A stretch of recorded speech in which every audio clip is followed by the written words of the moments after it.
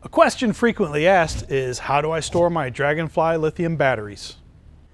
First, there is no need to remove the batteries and store them inside. And second, Dragonfly lithium batteries are safe in temperatures down to minus 40 degrees Fahrenheit.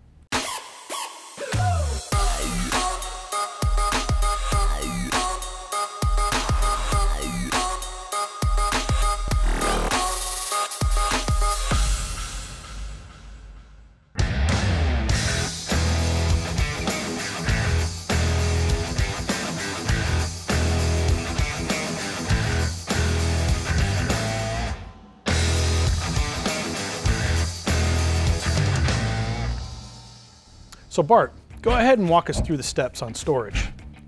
Make sure they are fully charged up to 100%.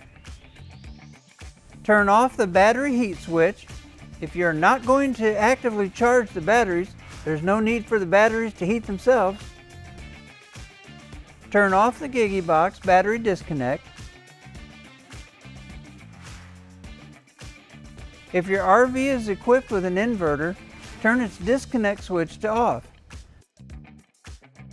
Finally, if your RV is equipped with a PV solar panel disconnect switch, which is typically located next to your smart solar charge controller, turn it off. It's just that simple. When spring rolls around, just follow these steps in reverse to get your SolarFlex system back up and running. But for now, get ready to enjoy the snow. I will enjoy the snow.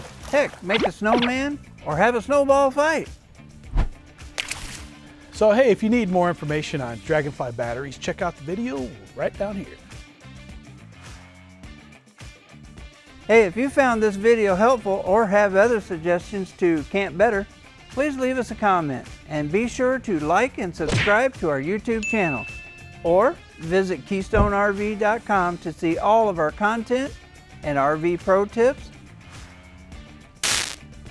Thanks for watching.